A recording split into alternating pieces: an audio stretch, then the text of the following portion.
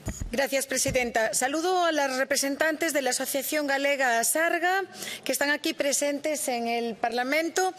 Y quiero decir que esta asociación nace como una asociación de Galicia, de mi país, y que ahora aglutina a pacientes de todo el Estado español y que lleva denunciando la falta de acceso a medicamentos en todo el Estado aprobadas a nivel europeo por la Agencia Europea del Medicamento porque no estaban financiados precisamente por los altos precios.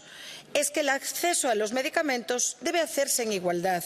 Igualdad de condiciones en todos los Estados miembros, porque no se puede permitir que haya pacientes de primera y pacientes de segunda.